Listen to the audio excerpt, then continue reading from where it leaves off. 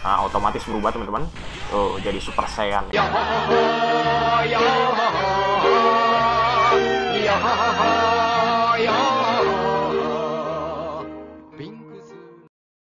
Yo, halo teman-teman, balik lagi sama gua Ginza Yunus RRR. Oke, per video kali ini gue bakal memainkan game Dragon Ball Z Budokai Tenkaichi 3 di game PS2 dan di sini gue bakal kasih tahu gimana caranya untuk transformasi atau caranya untuk berubah atau caranya untuk berubah menjadi Super Saiyan ya atau berubah ke perubahan kedua sampai seterusnya.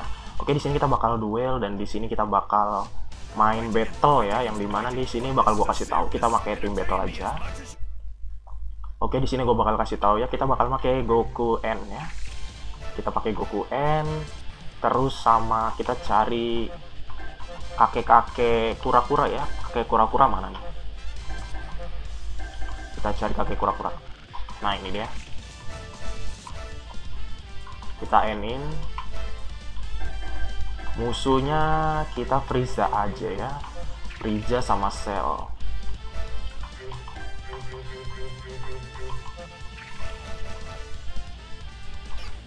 Oke kita N terus tempatnya ya tempatnya yang tadi aja deh Wastelat Nun ya. Nah di sini gue bakal kasih tahu gimana caranya untuk berubah. Cara berubah itu gampang banget sih. Nanti bakal gue kasih tahu ya.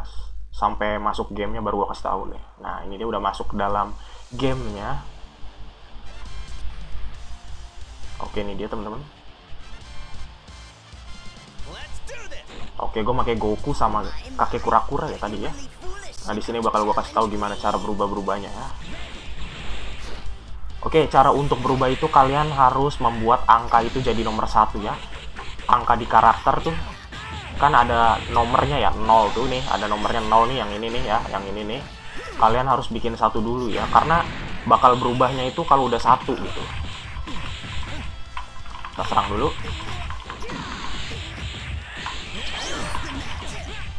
Oke, udah satu tuh.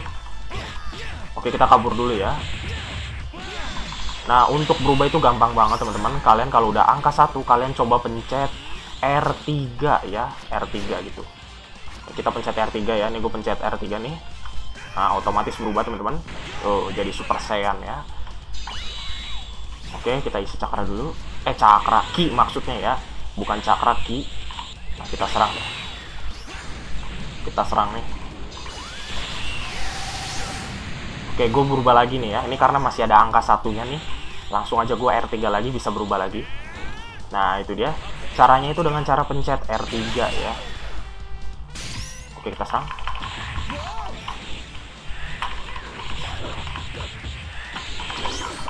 Aduh, kena. Oke, nggak apa-apa. Nah, ini udah angka satu lagi. Gue bakal berubah lagi ya intinya pencet R3 ya. Kalau misalkan R3 nggak bisa coba kalian tambahin dengan kanan R3 terus kiri R3 atau enggak atas R3 ya. Kalau misalkan R3 doang nggak bisa gitu. Oke gue R3 lagi. Nah berubah lagi tuh. Nah ini berubah jadi Super Saiyan 3 ya. Oke.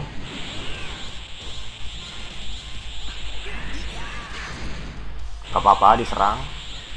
Oke gue bakal isi sampai full deh ya Oke, kita turun. Wait. Dragon Fish. Ini nggak kena, bagus banget. Padahal dekat sekali ya.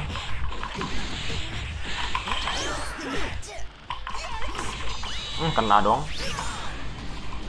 Oke, gue langsung cabut dulu.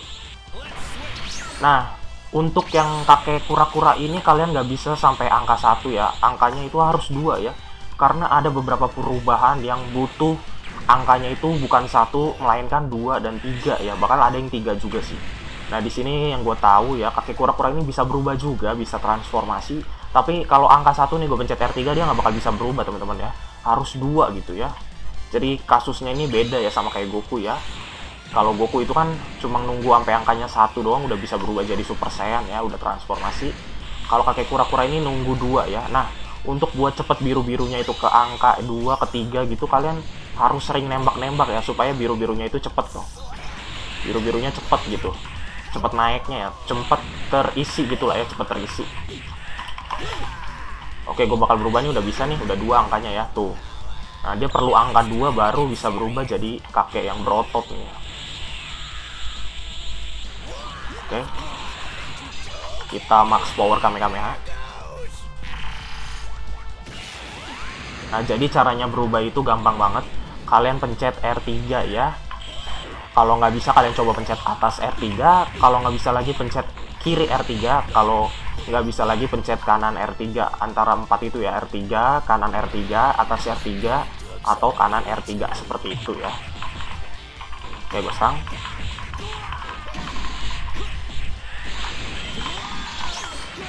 oke bagus aduh kena gua kabur dulu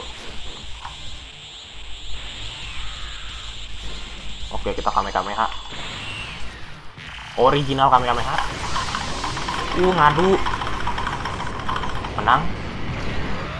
Oke, gue bakal ganti lagi ya. Nah, kalau Goku ini emang perlu satu ya, teman-teman ya. Di sini gue bakal berubah ke bentuk semula deh. Bentar-bentar ya, kita kabur dulu nih. Kalau mau berubah ke bentuk semula itu gampang banget. Kalian pencet bawah R3 aja. Otomatis nanti dia bakal berubah ke bentuk semu semulanya ya tuh nah gitu gampang sih oke kita serang dulu ya kalau pengen ke bentuk semulanya itu kalian pencet bawah R3 ya Nah kalau Goku ini dia transformasinya cuma perlu angkanya satu ya beda sama kakek kura-kura tadi perlu angkanya dua gitu. Nih yang angka ininya ya angka ininya nih. Nah angka ininya dia cuma perlu satu doang sih. Aduh, mati gua. Bangke. Oke, kita bakal pakai kaki kura-kura ya. Kita serang nih.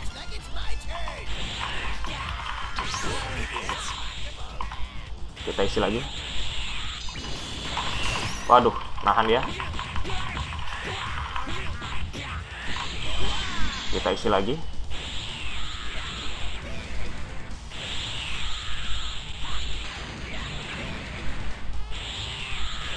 Oke. Kita serang. Max power Kamehameha. Oke, kita menang ya. Jadi caranya itu gampang banget dengan cara berubah ya. Kalian pencet R3 teman-teman ya. Khusus untuk kakek kura-kura ini dia memerlukan dua ya. Sedangkan kalau berubah jadi Super Saiyan itu dia itu perlu satu aja sih, perlu satu aja. Dan setahu gue ya, Cell juga bisa berubah ada yang perlu angka 3 bahkan dua gitu kalau dia pengen berubah ke bentuk yang aslinya tuh bentuk transformasi yang paling terkuatnya sel gitu teman-teman ya. Jadi caranya untuk berubah menjadi Super Saiyan atau berubah ke perubahan kedua atau transformasi itu caranya dengan cara mencet R3 ya. Kalau misalkan nggak bisa pencet R3 kalian pencet kiri R3 kalau nggak bisa lagi pencet atas R3 kalau nggak bisa pencet lagi kanan R3. Pokoknya kalian coba dari empat tombol yang tadi gue kasih tahu. Oke, gue Ginjonius pamit. Di sini gue cuma pengen kasih tahu gimana cara untuk bertransformasi atau berubah ya, atau berubah menjadi perubahan kedua atau super saiyan. Gue Ginjonius pamit. Bye.